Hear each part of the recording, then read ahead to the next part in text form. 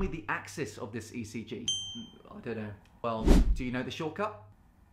When you learn it, you're to sound really good when presenting ECGs. I'll teach you how to never forget it if you come back and tell me the axis of this ECG right here.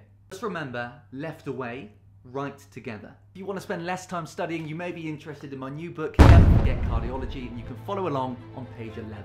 The official launch has now begun. Check out the link in my bio. And as an added bonus, every copy comes with a 290 question and answer pack. axis of an ECG is the overall direction of current. It goes between minus 30 degrees and plus 90. But if it's here, it's left axis, here it's right axis, the other side it's extreme axis deviation. All you need to do is to figure out roughly which quadrant it's in and then you'll know the axis.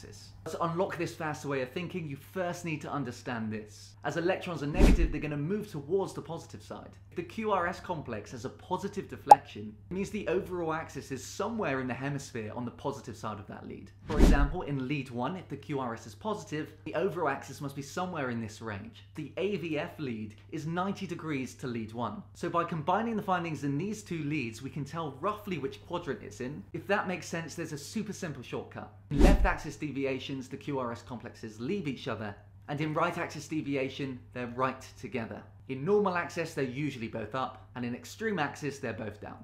Oh, and there's a patient over here with an arrhythmia. You're gonna have to follow me to come and see them next.